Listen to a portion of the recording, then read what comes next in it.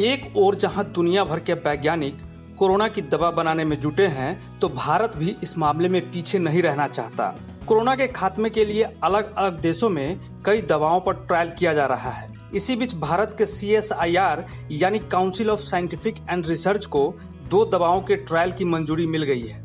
इसके अलावा आयुर्वेद की चार औषधियाँ भी ट्रायल मोड के लिए भेजी जा रही हैं। भारत के ड्रग कंट्रोलर जनरल ने सीएसआईआर को कोरोना की दो दवाओं के ट्रायल के लिए मंजूरी दे दी है। इसमें पहली दवा फेविपिरावीर है और दूसरी दवा का नाम फाइटो फार्मास्यूटिकल है। फेविपिरावीर को फ्लू के इलाज के लिए जापान और चीन जैसे देशों में इस्तेमाल किया जाता है। ये दवाएँ कोरोना के खिलाफ कारगर हो सकती हैं। इसके अलावा फाइटो फार्मास्यूटिकल नाम की दूसरी दवा पौधों से निकाली गई है। कोरोना के खिलाफ जंग में ये दोनों दवाएँ अब उम्मीद की नई किरण बन गई हैं। अगले डेढ़ महीने में फेविपिरावीर का ट्रायल पूरा हो सकता है।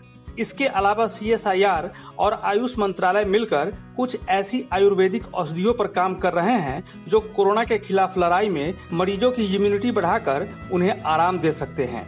ये चार औषधियाँ हैं, अश्वगंधा यस्ती मधु यानी मुलैठी गुडुची पीपली यानी गिलोय और आयुष चौसठ। इन चारों का ट्रायल स्वास्थ्य कर्मियों और उन लोगों पर किया जाएगा जो हाई रिस्क जोन में है। इस पूरी स्टडी में आईसीएमआर का भी टेक्निकल सपोर्ट होगा। पूरे देश के अलग अलग संस्थान इन चार औषधियों के प्रयोग और इनके नतीजों पर नज़र रखेंगे। इसके ट्रायल पूरे होने में दो से चार महीने लग सकते हैं। Bureau report.